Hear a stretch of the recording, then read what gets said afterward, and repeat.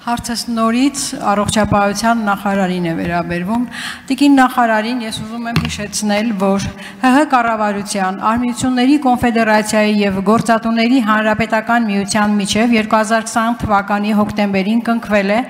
հանրապետական կոլեկտիվ պայմանագիր ըստ որի աշխատանքային օրենսդրության եւ աշխատանքային իրավունքի նորմեր պարունակող գործատուների եւ աշխատողների աշխատանքային իրավունքների եւ շահերի պաշտպանության առումով էական նշանակություն ունեցող նորմատիվ իրավական ակտերի նախագծերը պետք է նախապես քննարկվեն գործընկերների հետ Միջդեռ առանց որևէ քննարկման, կրկնում եմ, առանց որևէ քննարկման տիկին նախարարի օգոստոսի 20-ի թիվ 65 հրամանով սահմանվել է, որ հոկտեմբերի 1-ից Հայաստանի Հանրապետության բոլոր բոլոր ոլորտների չպատվաստված աշխատակիցները 14 օրը մեկ պետք է գործատուին ներկայացնեն սեփական միջոցներով հանձնված ՊՇՌ թեստի պատասխանը եւ դեռ ավելին դրան զուգահեռ ներկայացվել է հանրային ծառայության օրենքում փոփոխությունների նախագիծ, որով հիմքեր են նախատեսվում թեստի արդյունքներ չներկայացնելու դեպքում ծառայողին աշխատանքի չթույլատրելու հետագայում աշխատանքից ազատելու համար։ Փաստորեն Տիգին նախարար ձեր հրամանի ընդունումը խախտում է վարչապետի կողմից կառավարության անունից ստորագրած հանրապետական կոլեկտիվ պայմանագիրը։ Նշված հրամանը, ինչպես նաև այդ օրենքի նախագիծը հակասում են ոչ միայն աշխատանքային օրենսգրքին, այլ խախտում են մարդու սահմանադրական իրավունքները։ Հիշեցնեմ նաև, որ աշխատանքային օրենսգրքի հոդված 249 6-րդ կետում հստակ գրված է. Պարտադիր բժշկական զննումը կատարվում է աշխատանքային ժամերին գործատուի միջոցների հաշվին։ Հիմա հարց, տիկին նախարար, դուք այս հրամանը տալուց նախապես գիտակցում էիք արդյոք, որ անտեսում եք ձեր իսկ կառավարության ղեկավարի ստորագրած պահանջագիրը եւ արդյոք գիտակցում եք նաեւ որ ձեր հրամանագիրը հակասում է աշխատանքային օրենսգրքի նշած սկետին։ Եվ Չէ, մի հատ ներողություն ենք խնդրում, դուք ժամանակը վաղուց սպառվել է, մի հատ նորից միացնել էլ չի լինում։ Տիկին Ավանեսյան, խնդրում եմ։ Ես ներողություն եմ խնդրում, դուք չէ որ պետք է որոշեք։ Խնդրեմ, Տիկին Ավանեսյան։ Լավ, Տիկին Կյուրեղան։ Տիկին Կյուրեղան, եթե բոլորի նկատմամբ անեմ, ձեր գործընկերներն էլ են լինում, որ երկար են խոսում, չի կարելի տենց, եկեք մտնոլորտը փչփչացնենք, էլի։ Հեսա արձագանք կլինի կտակ Տիկին Կյուրեղան։ Ես Զարմանում եմ ուղղակի։ Խնդրեմ Տիկին Ավանես։ Հա, արդեն չպետք է զարմանամ, ճիշտ եք։ Տիկին Ավանեսյան, խնդրեմ։ Շնորհակալություն հարցի համար։ Տեսեք, իրավական ակտերը պետք է դիտարկել համադրության մեջ եւ նորից պիտի կրկնեմ, որ նախարարի հրամանը հենվում է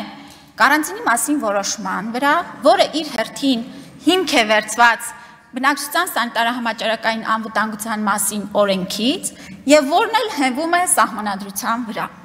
Այսինքն մենք պահպանելով իրավաչափության, համաչափության, ելներով համավարակի վտանգավորության աստիճանից, ելնելով ընդհանուր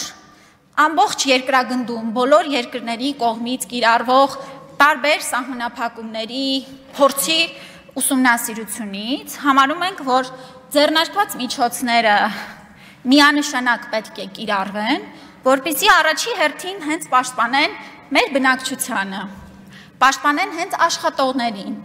պաշտպանեն այն աշխատողներին, ովքեր որ գուցե ունեն քրոնիկ հիվանդություններ, եւ երբ որ գալիս են աշխատանքի, պետք է ապահովագրված լինեն, որ իրենց գործընկերը եւս վարակակիր չէ եւ չի կարող այս իրավիճակում վտանգ ներկայացնել այդ անձանց համար։ Ոստի խնդրում եմ ընդհանուր այս հրամանը եւ գործարկող միջոցառումները դիտարկել այս կոնտեքստում եւ հասկանալ, որ այո, աշխարհը այս պահին ոչ սովորական իրավիճակում է գտնվում, մենք ունենք համավարակ եւ համավարակը ենթադրում է շատ ավելի ուրեմն թույլ է տալիս կիրառել օրենքով սահմանված սահմանափակումներ եւ անգամ պետությունները պարտավոր են դրանք կիրառել, նորից եմ կրկնում,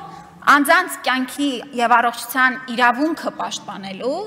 ազգային անվտանգությունը պաշտպանելու, տնտեսությունը պաշտպանելու, աշխատատեղերը պաշտպանելու եւ մի շարք այլ գործառույթներ իրականացնելու համար։ Այսքանը խնդրեմ։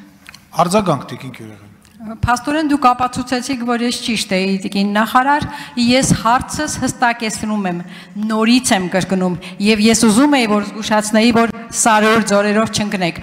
Արդյոք դուք գիտակցում եք, որ խախտել եք, որ դուք շրջանցել եք գիտակցաբար ձեր կառավարության ղեկավարի ձեռքով ստորագրած պայմանագիրը, չեք քննարկել այն գործընկերների հետ, եթե այո, ինչ հիմնավորմամբ, եթե եւ ինչպես եք պատրաստվում պատասխանել աշխատանքային օրենսգրքի հետ խախտմանը, եթե գիտակցաբար եք արել ինչ հիմնավորմամբ, եթե ոչ, ապա ինչպես եք գնահատում ձեր կոմպետենտությունը որպես նախարար այս կառավարությունում աշխատելու։